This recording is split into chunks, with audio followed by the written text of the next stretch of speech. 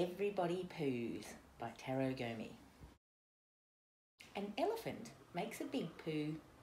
A mouse makes a tiny poo. A one hump camel makes a one hump poo. And a two hump camel makes a two hump poo. Only joking. Fish poo, so do birds, and bugs too. Different animals make different kinds of poo, different shapes, different colours, even different smells. Which end is the snake's bottom? What does whale poo look like? Some stop to poo, others do it on the move.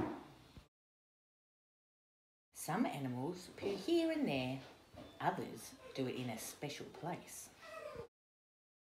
Grown-ups poo, children poo too. Some children poo on the potty, others poo in their nappies.